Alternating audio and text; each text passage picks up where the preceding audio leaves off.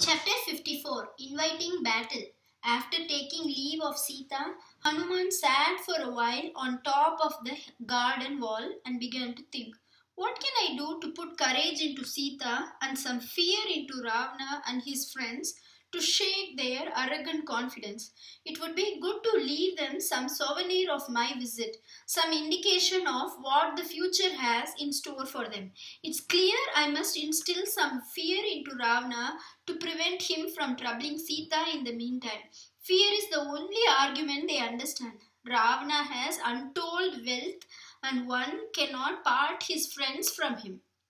Hence, Sama, conciliation, Dana, buying over, and Bheda, sowing discord, are useless in his case. I should therefore do something terrible to frighten, frighten them and warn them not to ill treat Sita. Yes, I must do this before I go away. At once he began to grow and assumed a huge form and began to lay waste the grove. Trees fell cracking to the ground. Bowers collapsed. Tanks and artificial hills were disfigured and destroyed. The beautiful Ashoka Park soon became a mass of ruin from which the deer and the birds fled in fear. The slumbering Rakshasis woke up and were bewildered to see this unaccountable sight. Hanuman sat on the top of the wall of the garden, a huge figure of wrathful menace, waiting for the answer to his challenge. The Rakshasis quaked with terror at the sight of the stranger, and some ran to tell Ravana the news. Some approached Sita and asked, How did this huge monkey come here? You should know who he is. Did he say anything to you? Tell us the truth. Do not be afraid to speak out. How do I know what can happen in this charmed world of Rakshasas? Sita answered, parrying the question.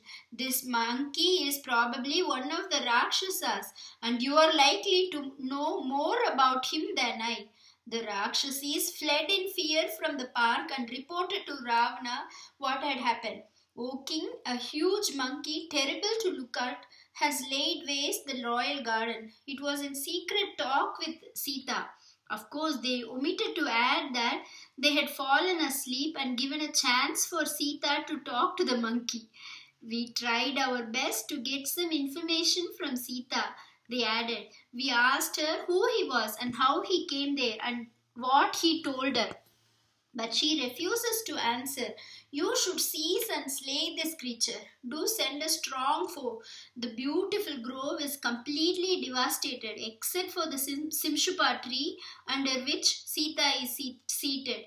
Its spreading branches have suffered no damage. The monkey which laid waste the tanks and bowers has spared the habitation of Sita. There must be a reason for this. We suspect that this is not an ordinary wild animal. It must have been sent by some enemy of yours, either Indra or Kubera. Or could it have anything to do with Rama? How did this monkey dare to talk to Sita? He must be a messenger from Rama. Do send your warriors to capture this terrible beast. Ravana was furious on hearing that his favorite park, set apart for his queens, had been destroyed. His eyes glowed like twin torches, and hot tears rolled down from them like drops of burning oil. He turned to the bodyguards standing beside him, ever eager to do his bidding, and ordered them at once to go and destroy the monster monkey. A strong force started to execute the king's commands, armed with maces and spears and other weapons.